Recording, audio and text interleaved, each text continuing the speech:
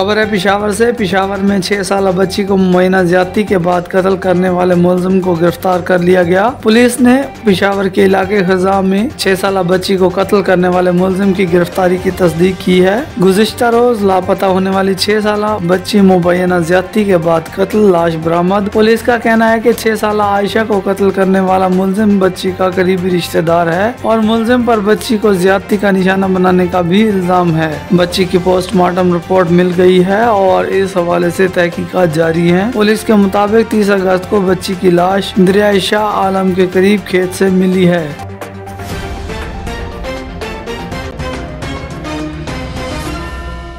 खबर है, लाहौर से पेट्रोलियम मसनूआत की कीमतों में इजाफे, रेलवे ने भी किराए बढ़ा दिए। पाकिस्तान रेलवे की जानब से जारी आलामी में बताया गया कि रेलवे के किरायों में पाँच फ़ीसद इजाफा कर दिया गया है। ट्रेनों के किरायों में इजाफे पर अमल दरामद, कल दो सितंबर से होगा। पेट्रोलियम मसनूआत की कीमत में इजाफा। डॉलर के बाद पेट्रोल और डीजल भी ट्रिपल सेंचुरी मुकम्मल कर गया। याद रहे की गुजशत रोज वफाकी हुकूमत ने पेट्रोलियम मसनूआत की कीमत में इजाफे का ऐलान किया था, जिसके बाद मुल्क में पेट्रोल तीन सौ पाँच रुपए छत्तीस और डीजल की कीमत तीन सौ ग्यारह रुपये चौरासी पैसे हो गई है।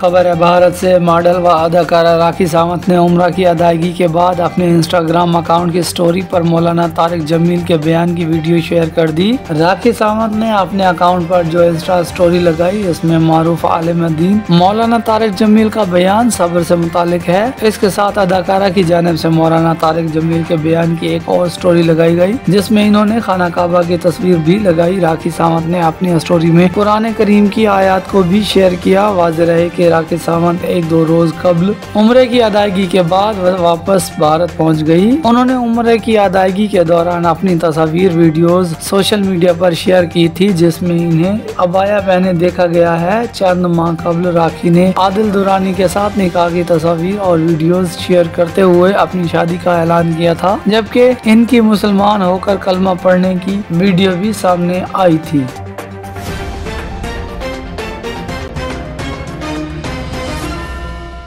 सलामती कौंसिल और यूएन सेक्रेटरी मसला कश्मीर के हाल में किरदार अदा करे। आर्मी चीफ का बयानिया army chief general Asim Munir ने अकवा मुतहदा की सलामती कौंसिल और जनरल सेक्रेटरी से मसला। जम्मू व कश्मीर के हाल में किरदार अदा करने का मुतालबा कर दिया और कहा कि पाकिस्तान एक ऐसा खत्ता चाहता है जहाँ अमन कायम हो। अकवा मुतहदा के अमन मिशन के वजारती इजलास के हवाले से तैयारियों का जायजा लेने के लिए इजलास का इनका किया गया। इजलास में chief of army staff Asim Munir ने अख्तामी सेशन में बहसीत मेहमान खसूसी शिरकत की। अमन मिशन के तहफ़ और सिक्योरिटी के मौजूद पर मुनद इजलास की मुश्तर मेज़बानी पाकिस्तान और जापान ने की।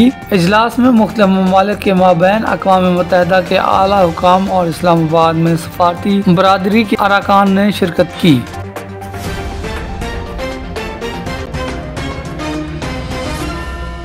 खबर है इस्लामाबाद से इलेक्शन कमीशन ने जल्द आम इंतबात के लिए हल्का बंदियों का दौरानिया कम कर दिया। इस्लामाबाद इलेक्शन कमीशन ने जल्द आम इंतबात का इनका मुमकिन बनाने के लिए हल्का बंदियों का दौरानिया कम कर दिया। Chief election commissioner Sikandar Sultan Raja की सरबराही में सियासी जमातों से मुशावरत और फीडबैक मद्देनजर रखते हुए आज अहम इजलास हुआ, जिसमें आम इंतबात का शेड्यूल और हल्का बंदियों से मुतालिक अमूर जेर गौर आए। इस हवाले से इलेक्शन कमीशन की जानब से जारी अलामी में बताया गया कि इलेक्शन कमीशन ने सियासी जमातों की मुशावरत और फीडबैक के बाद हल्का बंदियों के दौरानिए को कम कर दिया है। पीपल पार्टी ने इंतबात में नब्बे रोज से ज़्यादा की तखीर की खुल कर मुखालफत कर दी है। सदर ममलिकत ने वज़ीर अजम की एडवाइस पर कौमी असम तोड़ दी। इलेक्शन कमीशन का कहना है की अब हल्का बंदियों की अशात तीस नवंबर को हो गई और हल्का बंदियों के दौरानिए को कम करने का मकसद जल्द इलेक्शन मुमकिन बनाना है।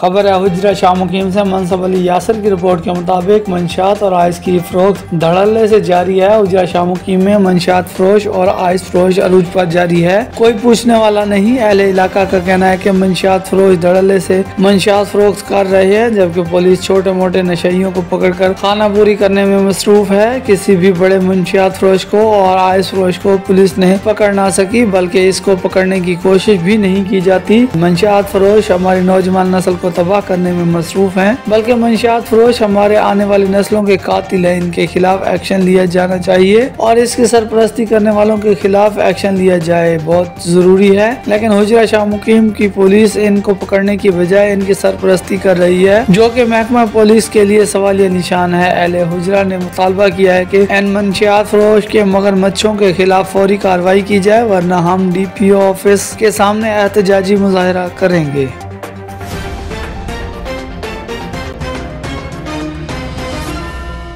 एक और खबर है, लाहौर से एस एच ओ शादरा पर तीन करोड़ की करप्शन का इल्ज़ाम। पुलिस ऑफिसर फरार। लाहौर पुलिस में करप्शन की बड़ी कहानी सामने आ गई, जिसमें एस एच ओ शादरा पर तीन करोड़ रुपए की करप्शन का इल्ज़ाम आयद किया गया है। पुलिस के मुताबिक एस एच ओ शादरा पर करप्शन का इल्ज़ाम लगने पर सी सी पी ओ लाहौर ने एस एच ओ के खिलाफ इंक्वायरी का हुक्म दिया है। सिंध पुलिस के करप्शन और जराये में मुलविस उन्नीस अफसरान बरतरफ, एक सौ तीस जबरी रिटायर्ड सिंध पुलिस के आठ सौ बयालीस अफसरान और एहलकार करप्शन में मुलविस पुलिस का कहना है कि S H O Shahdara inquiry में पेश होने की बजाय फरार हो गए जिसकी गिरफ्तारी के लिए सी आई ए पुलिस छापे मार रही है। दूसरी जानब डी आई जी ऑपरेशन ने करप्शन का इल्ज़ाम लगने पर ओ शादरा मुअत्तल कर दिया।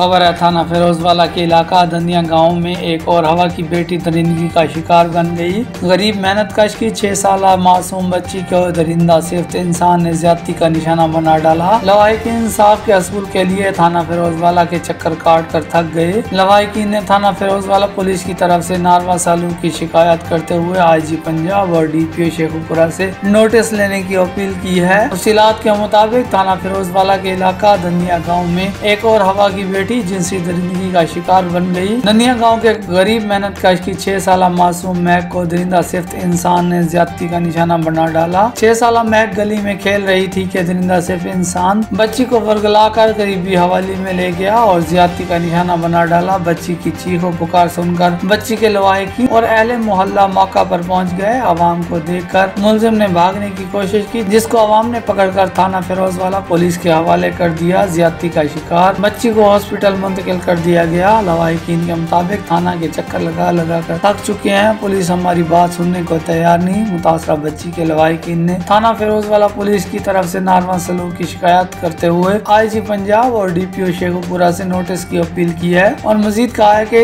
इस दरिंदा सिर्फ़ इंसान को चौक चौराहे में लाकर सरेआम सरे बाज़ार इबरत का निशान बनाया जाए ताकि फिर कभी किसी बच्ची के साथ इस तरह का वाक्य पेश न आए।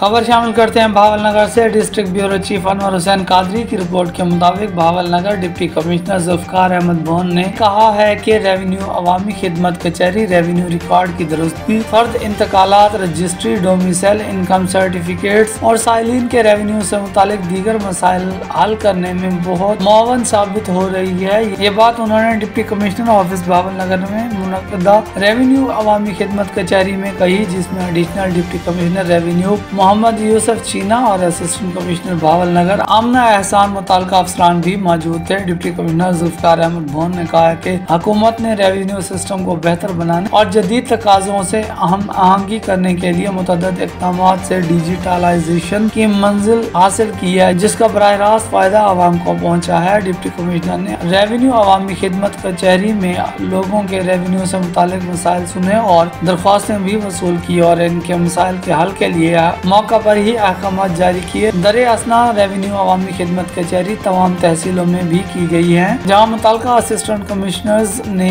अवाम उन्नास के रेवेन्यू से मुतल मसाइल हल किए।